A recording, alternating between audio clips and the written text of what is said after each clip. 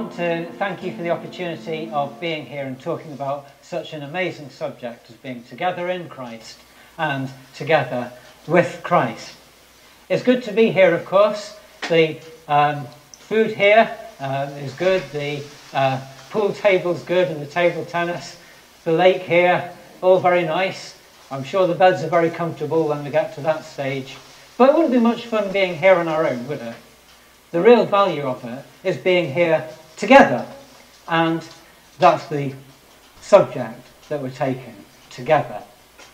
And you can't be a Christian on your own in your back bedroom. Sometimes people say to me, Oh, I don't really need church because I can be a Christian on my own and I feel closer to God when I'm out for a walk with the dog in the, in the woods. Or, uh, that's, that's good. You can talk to God when you're doing that and you can enjoy nature, you can enjoy all the things he gives you. But the Christian life as Jesus describes it, and I'll give you a clue, Christian means following Christ. So if you want to be a Christian, you've got to follow Christ and do the things that he says, otherwise you're not one. Um, but the, the, the real crux of it is, what's the life that's described in the Bible like? And it's not just, however good your relationship with God is on your own, that's just a small part of the Christian life because the Christian life is a life together. And we're told in the Bible to do various things to one another. Thanks very much. And I've grouped them together um, as the A to Z of what the Bible commands us to do to one another. I'm just going to whip through them. And at this weekend, we're going to do these things. We're going to do everything. We're going to aardvark one another and we're going to zebra one another. We're going to go right through these A to Zs. I feel sure of it. So, so I'm going to go through these. We're going to abound in love for one another. We're going to address one another in psalms and hymns and spiritual songs, if Steve Oxley has anything to do with that. We're going to, we're going to agree with one another.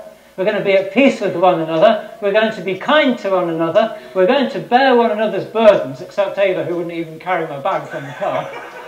Okay, next one. We're going to bear with one another. We're going to build one another up. We're going to care for one another. We're going to clothe ourselves with humility to one another. We're going to comfort one another. We're going to confess our sins to one another, perhaps. That's brave. We're going to do good to one another. We're going to encourage one another. We're going to exhort one another. We're going to forgive one another.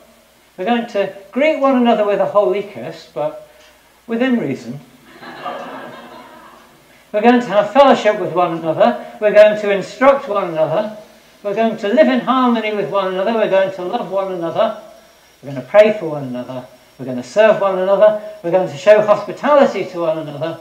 We're going to show kindness and mercy to one another. We're going to speak the truth to one another. We're going to stir up one another to love and good works. Next one, we're going to submit to one another. We're going to teach and admonish one another. We're going to wait for one another. We're going to wash one another's feet, metaphorically speaking, at least. And we're going to welcome one another. So there's a lot of things that the Bible commands us to do to one another. You can't just do that on your own. The Christian life is a life together.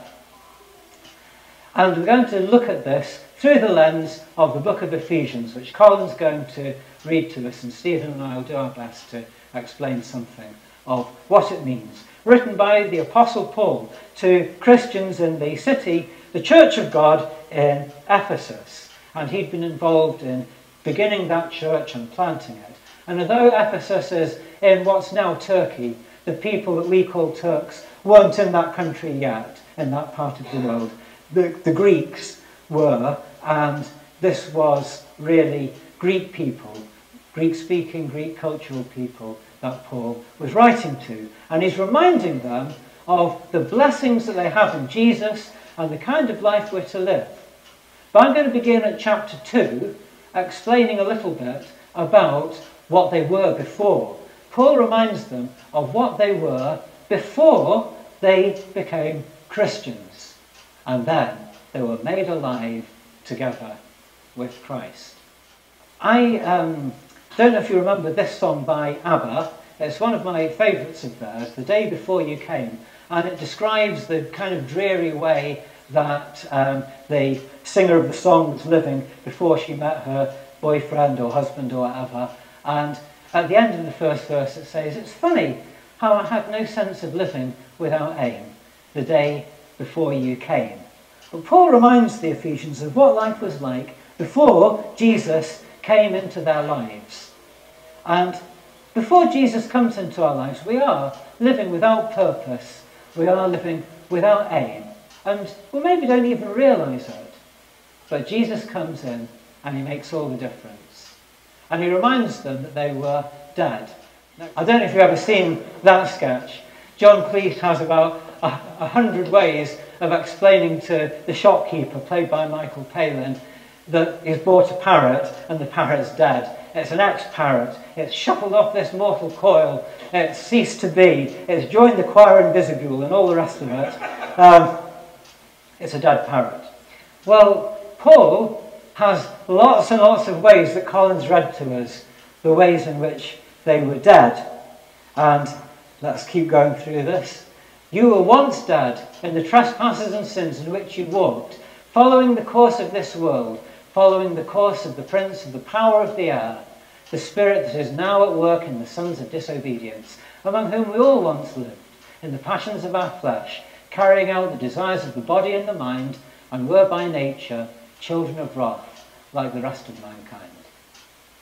Keep going.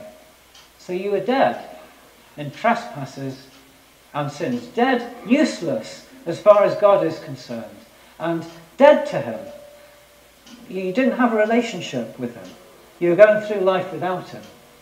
Following the course of this world, you were just doing maybe what your dad did, and he was doing what his dad did, and he was doing what his dad did. You, you're just doing like a flock of sheep what everybody else in the world is doing, without thinking about whether it's the only way, following the course of this world following the prince of the power of the air. That's the devil. So you're not just following other people off the cliff. Really, it's the devil that's leading, that was leading you that way. Children of wrath. You know, when we sin, there is punishment, eternal punishment, after this life is over. And we've got to take that seriously. It says that you were children of wrath and without hope and without God in the world. That's what you were, he says to them. He's just reminding them. That word without God, atheos, is the word we get our word atheist from. Somebody who is without God is without hope in this world. And he reminds them, that's what you were. Now I just want to say to you, if you haven't asked Jesus Christ to be your Saviour. That's not what you were. It's what you are. It's what you are. And you need to do something about that, and you need to do something about it tonight. If you haven't asked Jesus to be your Saviour, you are dead in trespasses and sins. You are still following the course of this world. You are still following the prince and the power of the air. You are still a child of wrath, and will have to face that wrath one day. You are going through life without hope and without God in the world. This is Good Friday.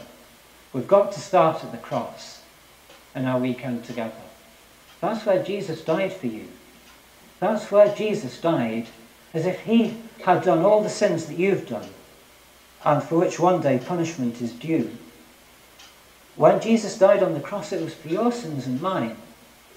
I love him because he was not content for me to go to hell. He wanted me with him in heaven. And he took that punishment upon himself for you, for me, as he died on the cross, so that it could be taken away from us forever. He loves you. He died on the cross for you. I love those words when I read them in the scriptures. But God. That's what you were but God. Not, but you did something. We can't do anything. But God did something. You were dead in all those ways. But God, being rich in mercy, because of the great love with which He loved us, even when we were dead in our trespasses, made us alive together with Christ. Together with Christ. By grace you've been saved, and raised us up with him, and seated us with him in the heavenly places in Christ Jesus, so that in the coming ages he might show the immeasurable riches of his grace in kindness towards us in Christ Jesus. God is rich in mercy. Mercy is when you don't get the punishment that you deserve. God shows his mercy to you. He's got great love. God loves you. That's what the cross means. The cross means God has great love for you personally. And so he sent Jesus to take the punishment for your sins. He's rich in mercy. And what we've read speaks about the riches of his grace. If mercy is not getting the punishment we do deserve, grace is getting all the blessings that we don't deserve. And God pours them out on us. Yes, God has great love for us. And so we're not dead anymore if we've believed in Jesus. We're alive. We've been made alive together with Christ. I'm going to keep going on. So here we are this Good Friday. And if you're a believer in the Lord Jesus Christ, you've been crucified with Christ. That old self that has characterized you up until you believed in Jesus is gone because it's crucified with Christ. As far as God is concerned, that person is a dead man. And you've been given a new person. And it's that person who wants to please God, that new identity in Christ, is who you really are now. I have been crucified with Christ, and the life I now live in the flesh, the song says. I now live by faith in the Son of God who loved me and gave himself up for me. Based, of course, on Galatians chapter 2, verse 20. Have you been crucified with Christ? I challenge you about that. If you are not saved tonight, you need to be. Please, will you come and talk to me afterwards if you're not? If you've not personally put your trust in the Lord Jesus. We can help you with that. There's others here too who can just help you to cross over that line from death into life and begin this life together with Christ. Now, if you've been crucified together with Christ, your old self buried with him, it's so that your mind can be renewed and it's so that you can be raised up together with Christ. Together with Christ. Yes, crucified with him, but praise God also, raised up with him and seated with him in the heavenly places. Can you imagine the power it takes to raise up a dead man and seat him in heavenly places? That's beyond dynamite, isn't it? That's real power. And that's the power of God. And we see it, of course, in the death and resurrection of Jesus. But he invites us to be crucified together with Christ and to be raised up together with him. And then, having been raised up, to live together with Christ. To live a life with Christ at the centre. We've got a symbol for it. And some of you have done this. And James just did it last week. Um, I've seen James sitting here somewhere. Thanks very much, there he is. There's a symbol of that. To be buried in the water and come out to live a new life. That's a symbol. Crucified, old life buried. Now I've come out of the water and I'm going to live that new life together with Christ. Have you done that? The precondition is that you've received the Word of God. You've been saved, become a Christian, whatever you want to call it. You've done that, and then you want to follow Jesus, and so you obey his commands. I want some of you to get wet, and I want some of you to get wet soon if the Lord Jesus doesn't come back tonight. I want you to do it because the Lord has commanded it. And it's a symbol of what's happened to you if you've been saved. To be buried with Christ, but to emerge, to walk in newness of life, to symbolize and tell the world that's what's happened to you. get baptized.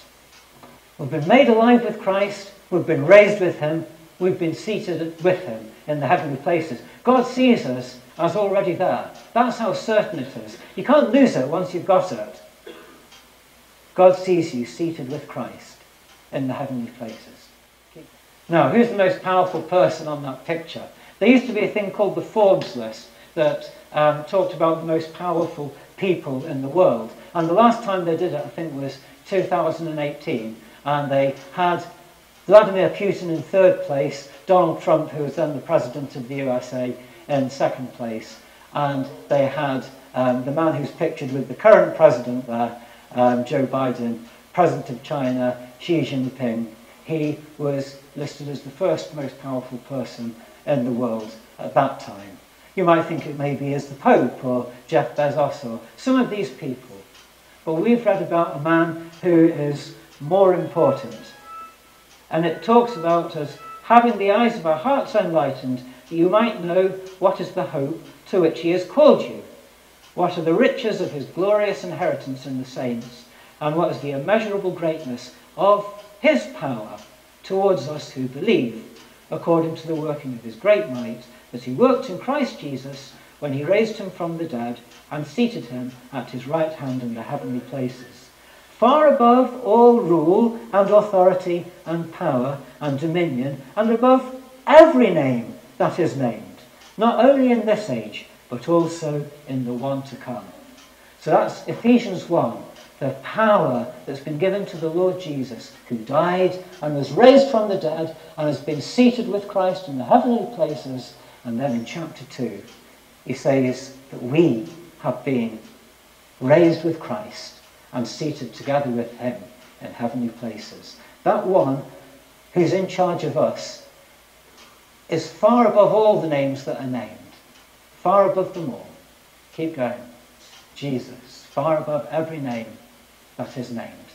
We get a picture of it in the New Testament story of Lazarus. Lazarus was a friend of the Lord Jesus who became sick to the extent that he died.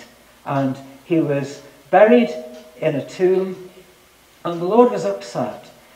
He saw everybody around, including Lazarus' sisters, weeping and mourning. And we read that Jesus himself wept at what had happened with Lazarus. Lazarus was dead. There was no doubt about that. He'd been there. In fact, when Jesus told them to roll the stone away for what he was about to do, they said, no, he um, it started to decompose. The NIV very politely puts it, there is an odour. I love the old versions because it says, behold, he stinketh. And uh, maybe that'll be a, opposite to some of you in your dormitories or wherever you are, um, depending on how much you wash. But it says about Lazarus that they rolled the stone away. Jesus commanded them to roll away the stone. And they said to him, Behold, he stinketh. He'll smell terrible. Why roll away the stone? But of course, Jesus had the power to raise even a dead man from the tomb. And he shouted, Lazarus, come forth. One day, of course, he'll shout, and everyone who's dead in Christ will rise. And one day, all the dead will rise on another day that's coming. That's the power of Jesus. Lazarus came out in chapter 11. And then when we get to chapter 12, we see Jesus reclining at that house where his friends lived, Lazarus with his sisters Martha and Mary, and they're sharing a meal together. Yes, he's been raised from the dead, and he's living a new life, and he's living a new life in fellowship with Jesus. Imagine the privilege of that, sitting down, eating with Jesus. And that was the life that Lazarus had been called to. And so Jesus says to us, Behold, to believers, Behold, I stand at the door and knock. If anyone hears my voice and opens the door, I will come into him and eat with him, and he with me. So this Christian life is a life together with Christ. He's present and he's a reality in it. Together in Christ and together with Christ. So we're in Christ if we're believers in the sense that we are part of his body. We read about different types, different uses of the word church in the New Testament, but the one that is focused on where we've read tonight is the church, which is the body of Christ. And every believer since he went back to heaven, wherever they go on a Sunday morning, or even if they don't go anywhere, is a member of that church, which is the body of Christ. So I'm not talking about the Church of God in Wishaw or Birmingham or Akrokumo or wherever. We're talking about not churches of God, but we're talking about the church which is the body of Christ. And I'm very thankful for it. If we're talking in terms of quantity, only a tiny, tiny proportion of what God is doing on this earth at this moment is being done by the churches of God.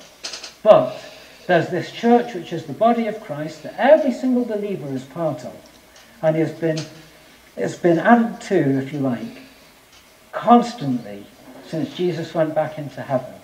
And there will be new members of it until the time when the Lord Jesus comes to take us home. Praise God for the church, which is the body of Christ. And we ought to be interested, not just in what's happening in fellowship, but we ought to be interested in what the church, the body of Christ, is doing globally and what's happening in it. One thing you'll notice about your body is that you've got lots of different parts of it. You've got your fingers and your knees and your elbows and your epiglottis and who knows what else. And they're all different, and they've all got a different purpose and a different function. This man here is all ears, but he, if the whole body were an ear, where would the sense of smell be? You wouldn't be able to smell very much if you, if you didn't have a nose. Um, we, we all need each other, don't we? We all depend on each other. Don't you be jealous of somebody else because they've got a spiritual gift that you don't have. You've been given the one that you've got for a reason.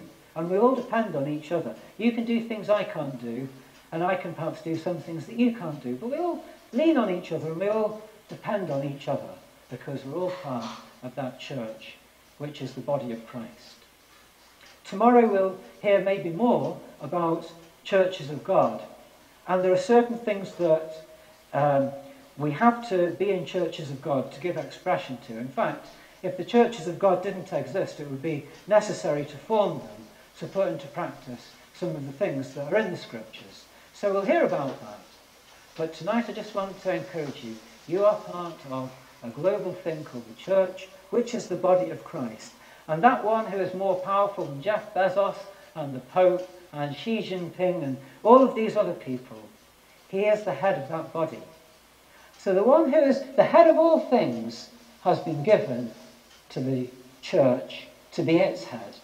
And he is on the throne, and he is our boss, and it's our job to follow the impulses and the instructions and the commands of him. God put everything under his feet and made him head over everything to the church, which is his body, the fullness of him who fulfills all in all. I am excited about this subject. I am. And I think we're going to enjoy learning about this over the weekend. So, together in Christ, together with Christ. Let's pray. Oh, Jesus, is my purpose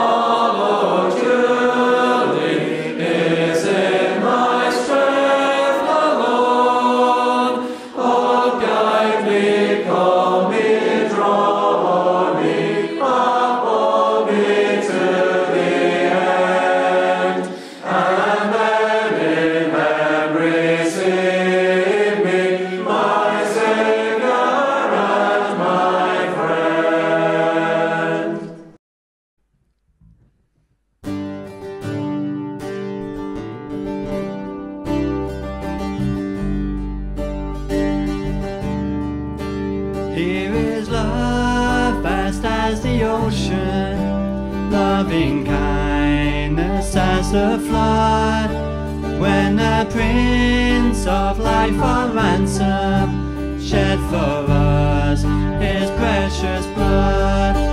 Who his love will not remember, who can cease to sing his praise? He can never be forgotten throughout heaven's eternal.